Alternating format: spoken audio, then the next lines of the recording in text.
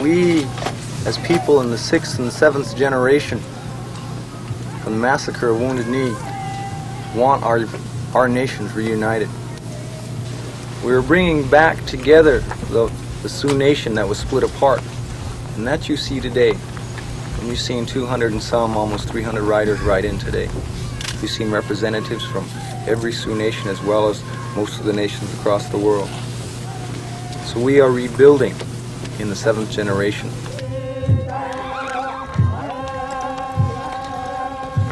And for the past uh, 100 years, as individuals and as a nation, we have been uh, spiritually crippled. Because after the massacre at Knee, our uh, ancestors have never gone through the process, the ritual that is usually accorded to the family, the individual, the family, or the people who would lose a loved one. And until the time that takes place, they're in a peri- period of mourning. So my brothers and I, we got together and decided that we must do this spiritual ceremony of wiping the tears.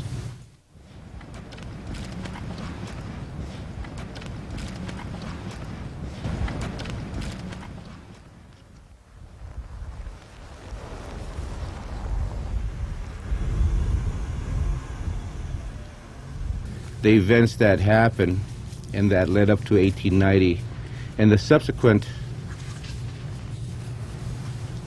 actions against our people was horrendous. A heinous crime was committed. People scattered in all directions. The United States gave Congressional Medal of Honors for killing women and children and unarmed men. Our nation just couldn't pull itself out of out of that state that they were in after that tragic event. We will go through that process of wiping the tears of our people. This doesn't mean that we forget what happened 100 years ago.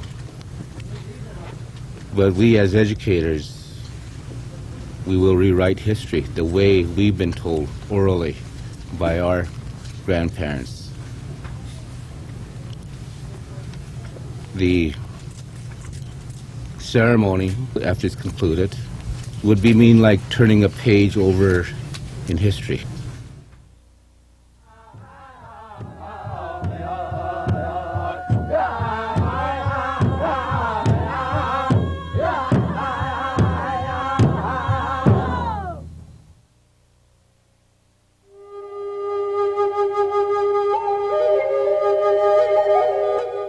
Turning back the pages of history a thousand years, our Lakota ancestors roamed hunting grounds that reached from what is now Canada to the Rocky Mountains and from the Platte to the Yellowstone River.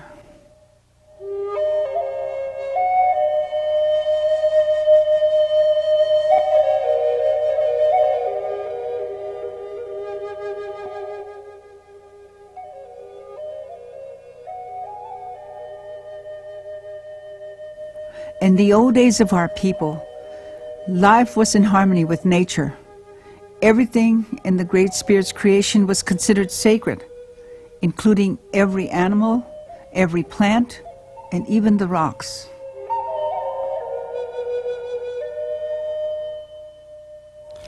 Ett håll lewi man och rätt ke ett hokakia.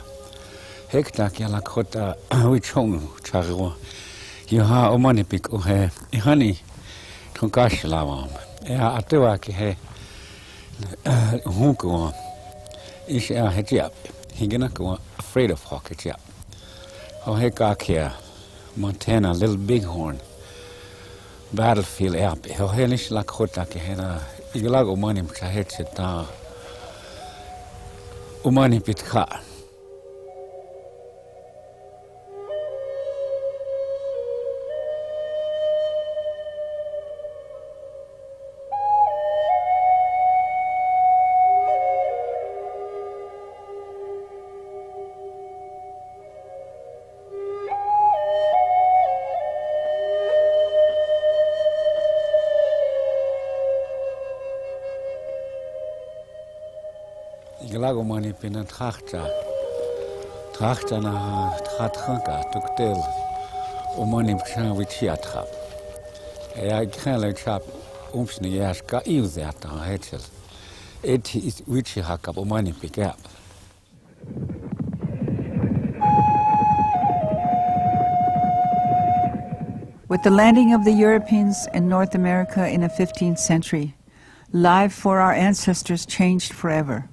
The most important change came with the arrival of the horse, which allowed the Lakota to become masters of the Great Plains.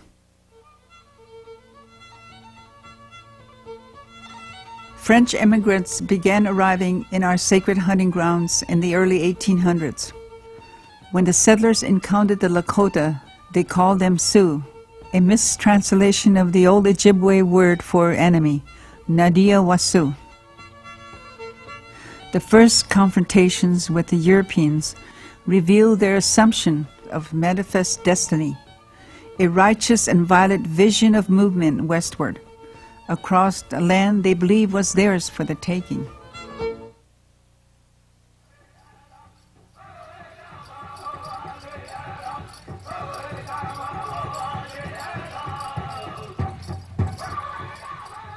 led by great warriors like Crazy Horse and Red Horse. Our Lakota ancestors bravely defended their homeland and what we call the sacred hoop, our Indian way of life.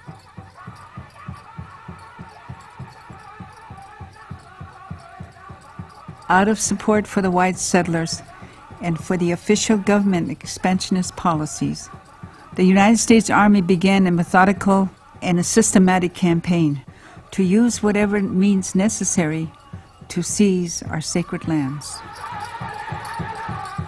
In a telegram from General William Sherman to President Ulysses S. Grant, this policy was tragically outlined. First, clear off the buffalo. Then, clear off the Indian.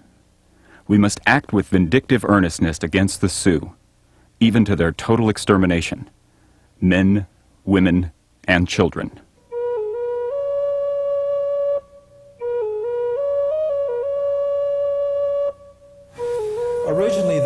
5 million Native Americans. The Sioux believe originally there were well over 15 million Native Americans.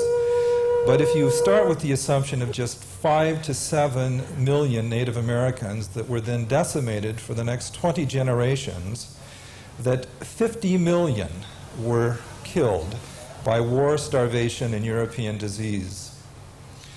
50 million is a number that is comparable only to the total number of military fatalities suffered by both sides in both World Wars I and II combined. Never before in the whole of human history was the near extermination of a race so total and complete as it was in the United States.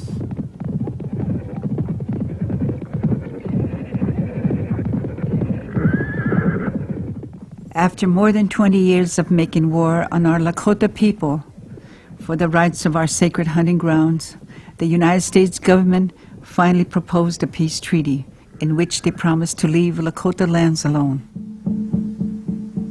In 1868, the Great Sioux Nation was created when certain Lakota leaders signed the Fort Laramie Treaty with representatives of the United States government.